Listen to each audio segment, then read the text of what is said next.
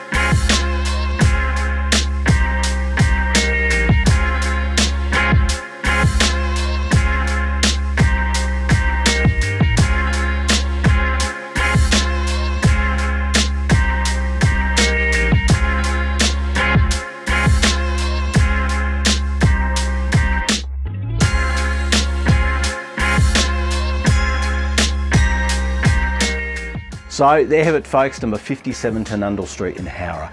Five bedrooms or more, bring the teenagers, bring the in-laws, enjoy the views, bring them all, it doesn't matter. Property just got serious.